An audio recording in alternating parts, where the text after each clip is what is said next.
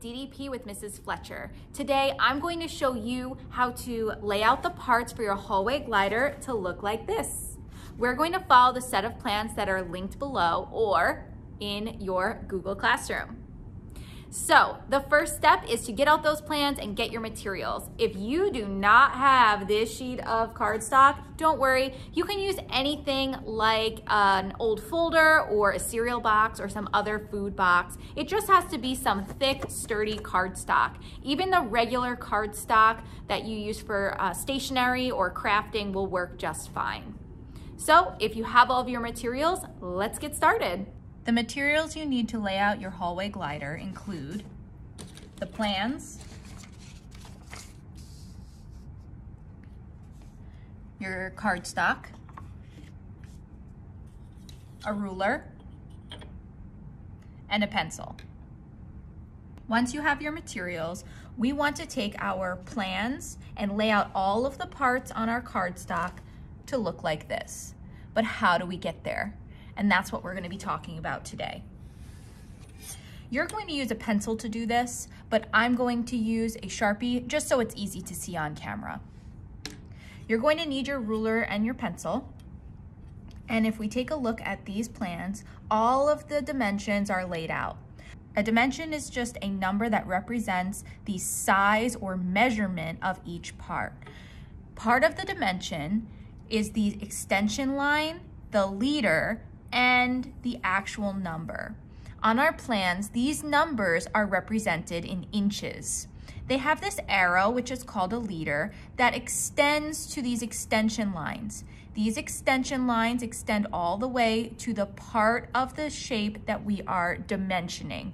So this four inches extends to the top line and the bottom line of this main body panel of our hallway glider. So from here to here equals four inches. That being said, if we take a look at this three, this points up to these two lines and they extend to the dashed lines or the dotted lines. And this distance will be three inches. On the other side, we have a half inch that shows from here, this top line, to the next top line. And that is the same on both sides, but we don't have to duplicate that. So if there is a duplicate dimension, um, as far as on the left and the right, you only have to put it in once. So we assume that this goes all the way through and this distance is exactly the same. So this is also half an inch. Now, let's take this information and transfer it to our cardstock material. Using my ruler, I'm going to place the zero line in line with the top edge of my paper. And I'm going to measure down to the first line. I'm going to assume that this is straight and we're going to use the edge of our paper for this top line. So we're going to measure down what we already figured out is a half an inch. We're going to measure down to this dash line. So I'm gonna put a dash at the half inch mark. And I'm just gonna keep going for each line. The next line is three inches from my half inch. So from the top, we would need to add in three plus a half.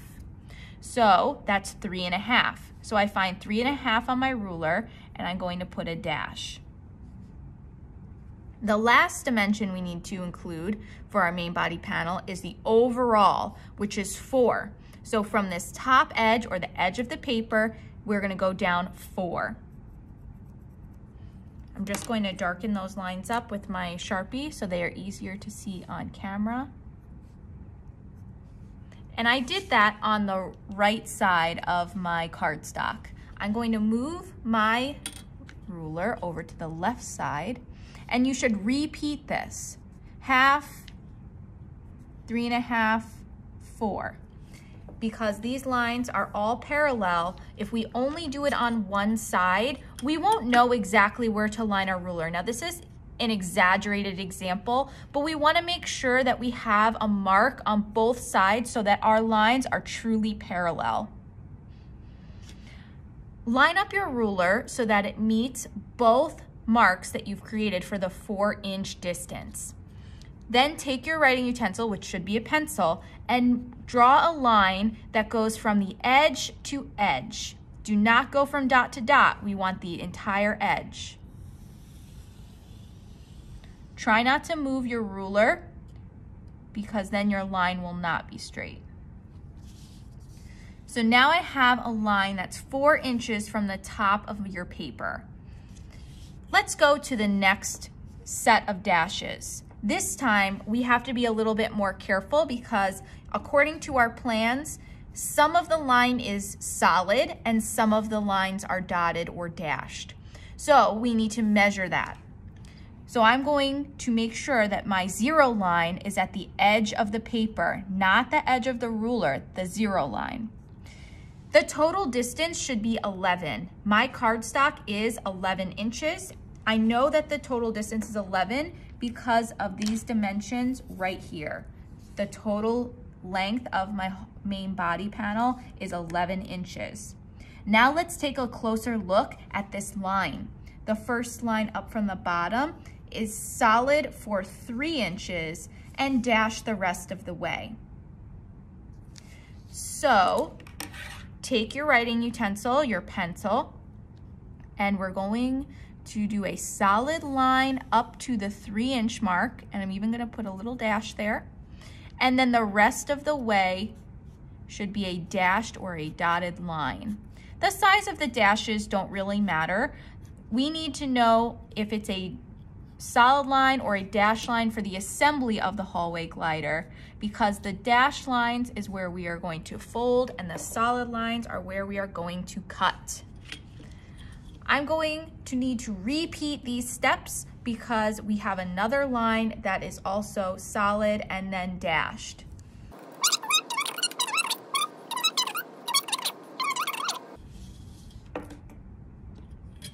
We're missing one line, and that's this vertical dash line right here. And it should be three inches and three inches from the left. I'm going to take my ruler and just double check. It's three inches long and it's three inches apart. So let's line up the ruler and put in our dashed line. So when we cut this out, we're going to cut along the solid lines and we will fold on the dashed lines. The next step is to create the fins. Here is my fin and my air scoop and they're all going to lay out on the bottom. The fins are three inches tall and so is the air scoop. To make this easy for us, I'm going to measure a line three inches from the bottom, just like we did four inches down. I put a mark at the three and a mark at the three. Now I'm going to make a line, edge to edge.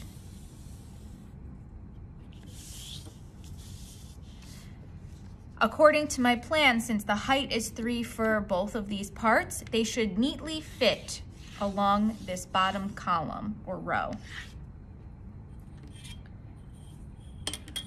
Next, you should create a three inch square in either corner because according to these plans, the fins are three inches in length.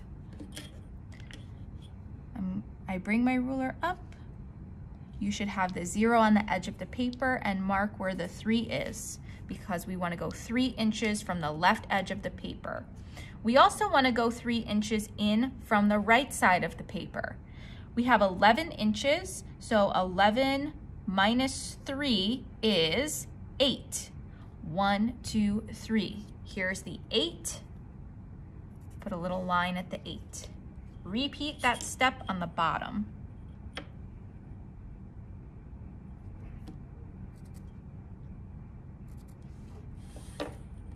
Now connect the dots.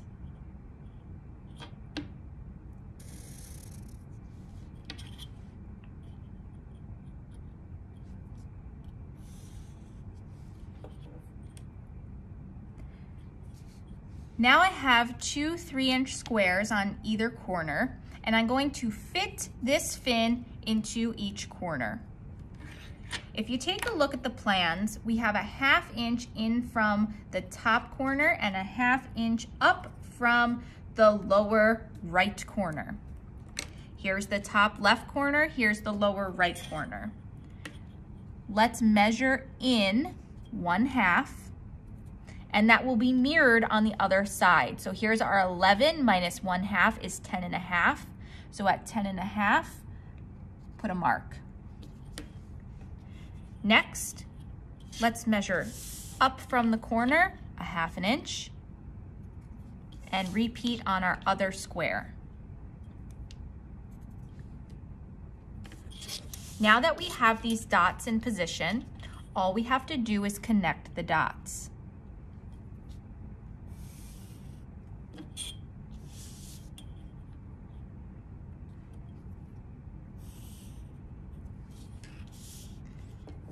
And there we have it, our two fins. This triangle will be cut away and that is scrap.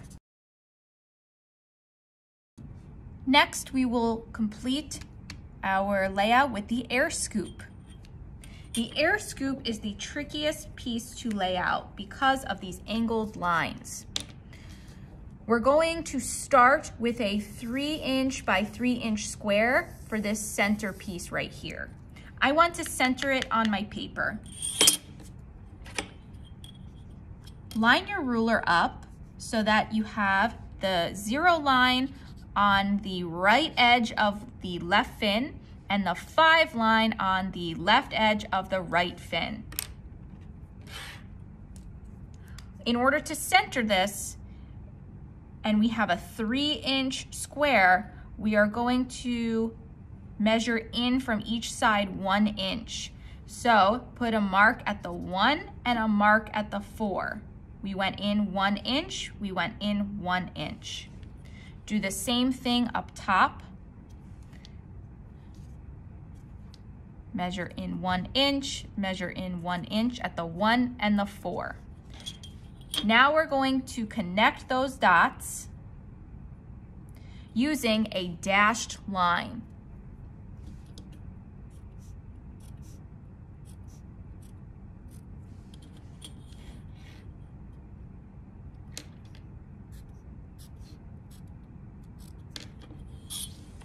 Now that we have our three by three square, we are ready to measure out an eighth of an inch on the tops and measure out 3 eighths of an inch on the bottoms.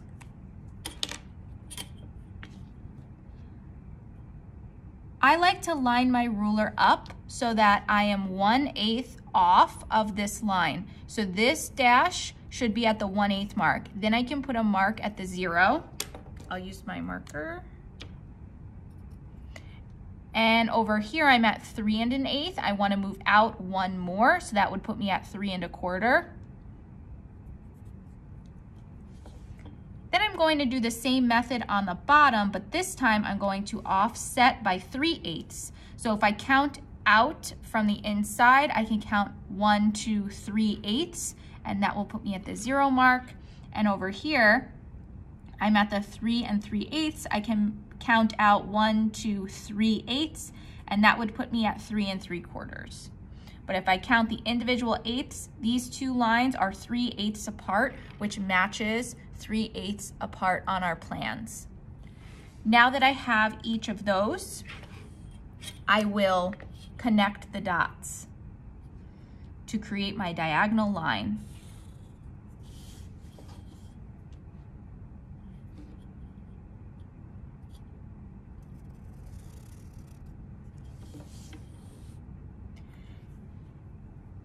Now I have my air scoop, my two fins, and my main body panel. In order to make this easier for me when I start to assemble, let's scribble out where the scrap pieces are because sometimes what I find is when people cut out the parts, they accidentally keep the scrap pieces and throw away the actual parts we need to keep. So in order to avoid that, I like to scribble on the scrap areas so I know if it's scribbled on, it has to be tossed or put aside because it is scrap material. Now that you have your parts laid out just like mine, we can move on to the next video where I will show you how to assemble all of these parts into your hallway glider.